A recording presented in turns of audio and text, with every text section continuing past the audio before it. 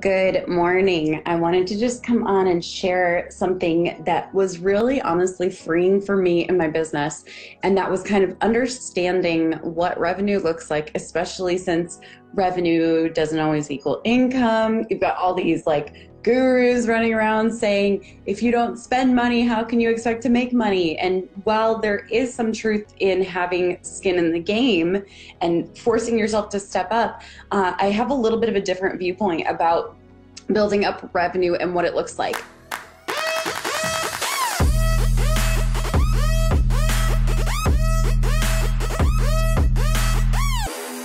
Now, I know a lot of experts um, say things like, oh, you know, like make an extra $500 per month and pay off your debt. Or, you know, like even Dave Ramsey shares like the snowball effect and all of this, right? But one of the things that I want to share, first and foremost, let me disclaim this is super important that I'm not a financial expert and my advice should not be taken as uh, financial advice. This is more of just something that I personally have done that has worked really well for me. But I also see a lot of entrepreneurs as they start to have success, they splurge on huge things when it is not time for that yet. So literally they'll be like, "Oh, I got my first client, so I went and bought a Louis Vuitton." And I'm like, "Yo, I waited years to get a Louis Vuitton." And I mean years. So I want to share several ways that I do things a little bit differently. and this advice goes against like some of the people like Dave Ramsey, um, some of the kind of debt payoff experts and all of that. So there are kind of like three tiers of the revenue runway.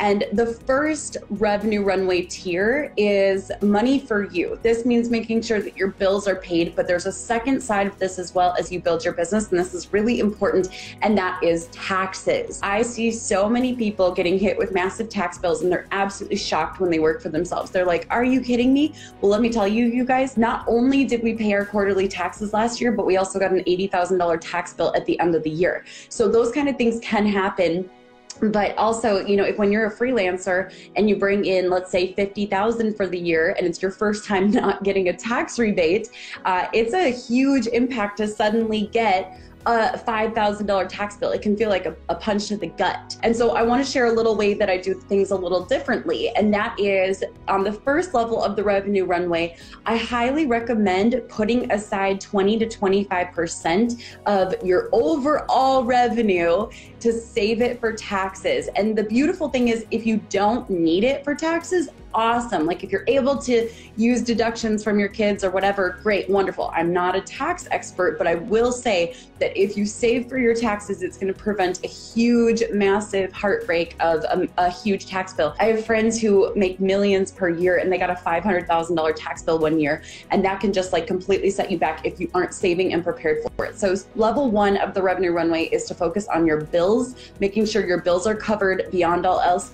Um, I actually am going to teach something a little different, and this is crazy. I don't recommend going to every single conference. I don't recommend buying every single software. I don't recommend joining every single mastermind because those things should not be taking the place of making sure that you and your family are paid and that your your roof over your head is covered, that your food is taken care of. First and foremost, I know this sounds crazy, but get selfish. You should always be taking a paycheck for yourself first and foremost, I know that there are like these books that go out that say like leaders eat last, but I have a different viewpoint on that. And that is that you are the captain of the ship. And if you are about to get the ship repoed, that's going to affect everyone on the ship.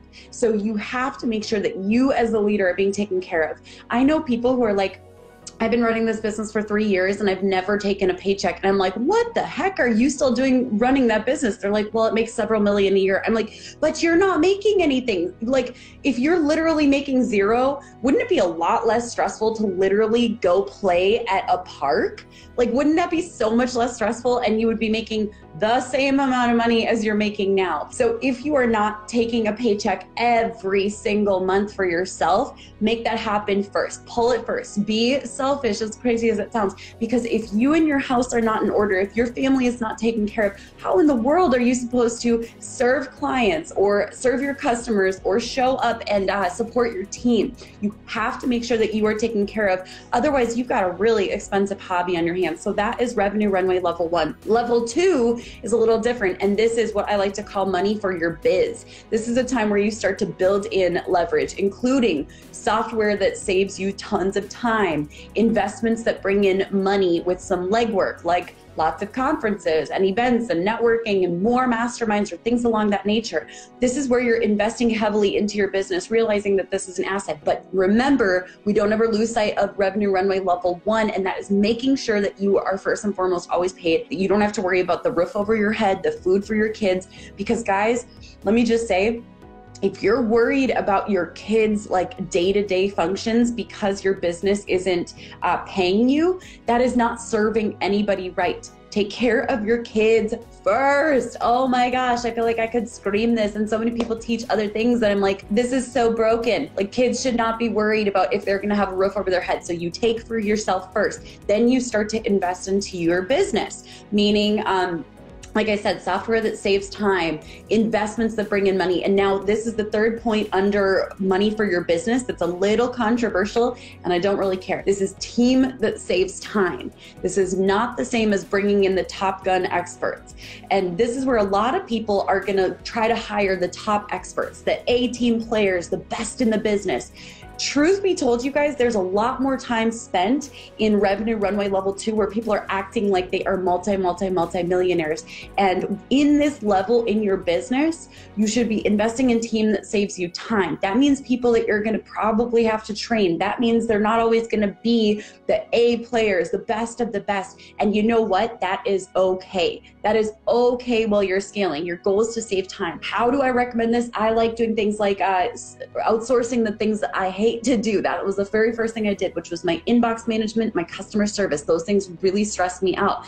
And then as we continued to bring on team that saves time, I didn't go search for like who is Kim Kardashian's last assistant so I can hire her or can I find someone who is trained by Mark Zuckerberg on how to be an assistant? Nope uh, enter stage right kellyanne kellyanne had never in her life been an assistant before so she learned on the job and she has saved me so much time especially with my schedule with making all these moving pieces come together this is not the time to go out and bring in 10 experts and be like, you know what, I'm not going to get paid for a few months, but it's okay. This is time uh, to hire a team that saves time, not necessarily the best of the best. They are going to require some training. And I'm sorry if that's controversial. Actually, no, I'm not. Not at all. Okay. So, level three of the revenue runway, and this is really important saving a, a, a safety net and I feel like this is not talked about enough in business from even top experts.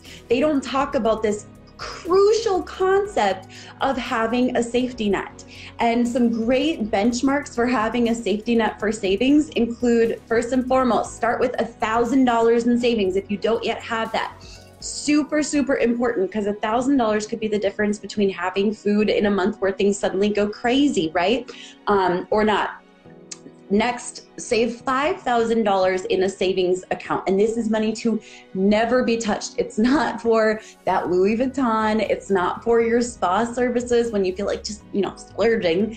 Um, you really want to have this be untouched money. And this is kind of like the equivalent of having a, a safe room when Y2K might happen. You don't touch it, you don't eat the reserves, right? Those are there to protect you just in case something happens. Maybe you end up in, in the hospital and you're not able to work for a few weeks, or maybe a crucial team member leaves and it drastically impacts your revenue.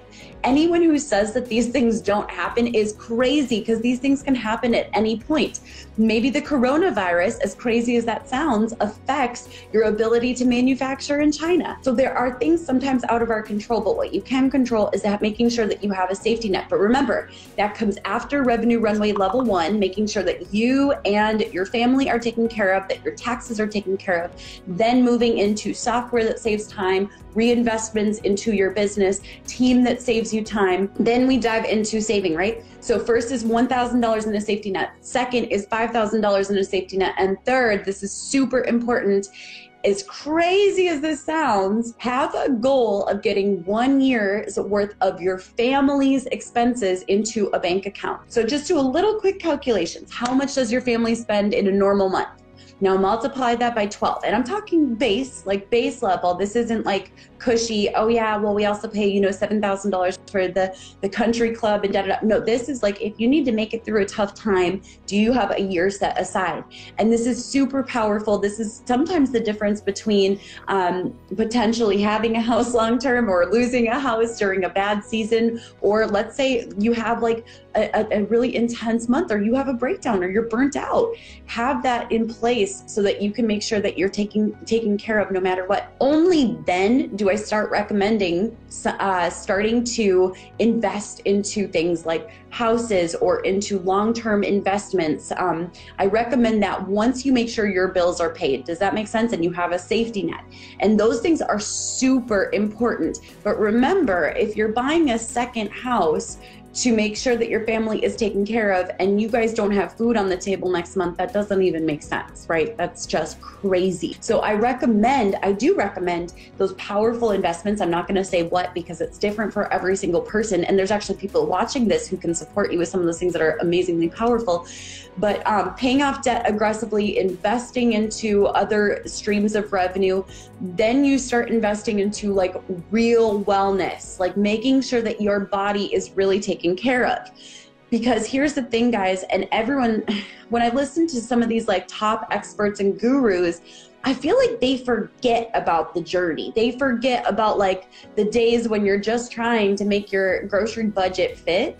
And they're like, oh, eat all organic, only the top produce. Make sure all of your meat is like hand massage and like those things are great and they're wonderful. They're like oh book a massage once a week. Make sure you get your weekly facials. Are all those things great? Yes absolutely. But if you say that to anyone who's like i'm worried my mortgage isn't going to get paid that is irresponsible.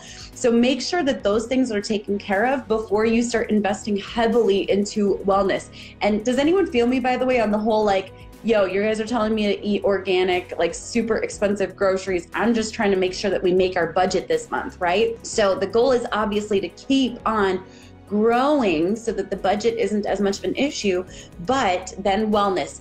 Then you're going to start to invest into team that brings some expertise, some A players that can free up more of your time, okay? That is super important team players that free up your time. Now, this is only after all of these steps, after your bills are paid, after your taxes are saved for, after you've invested into software that can easily leverage your time. Okay, so that's super important. Investments that bring in money in your business, whether it's networking or masterminds, team that saves you time, then saving, paying off debt aggressively, investing into other uh, streams of revenue wellness, then you're starting to hire in those experts. Most people, like, they're like, oh, I'm starting a business. I need experts. And I'm like, no, you have a long way to go. Learn some of this first because you will never be sad that you learned some of this marketing uh, how to, and you will appreciate your team so much more when you know that you can sustainably afford them and when you know what goes into what they do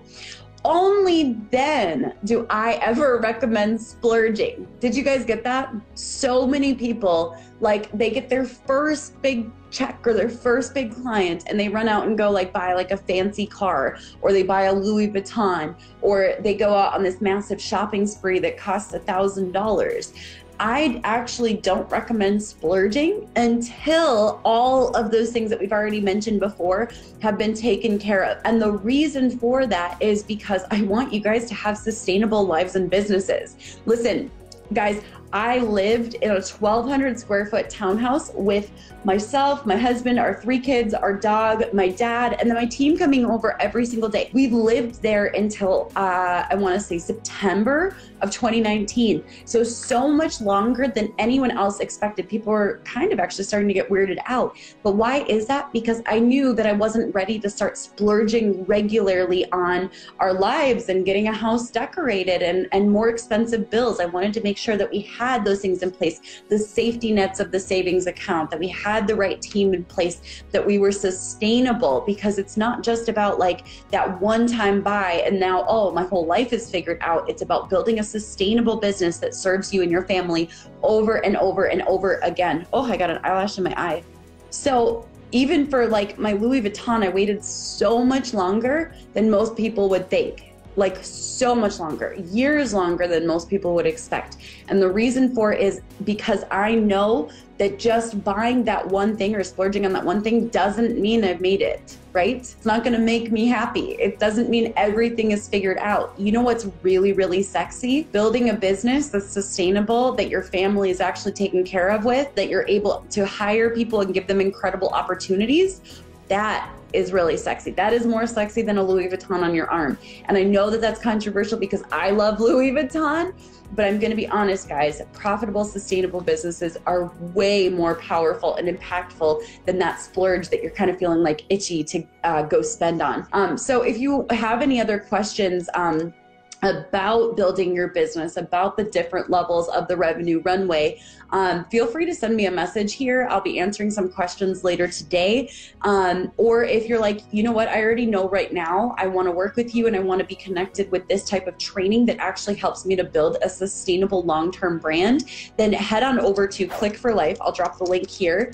And this isn't just for people who are social media managers, but most of the people in the program work one on one with clients and are building for the very first time. They're building sustainable long term brands that last beyond the surge of gurus. So feel free to head on over there and submit your application if you're like, this is the kind of stuff that I want. I want a long term business that sets me and my family up for life. Head on over to clickforlife.com and I will catch you guys on the other side. Okay, I need to get some coffee. Bye, everyone.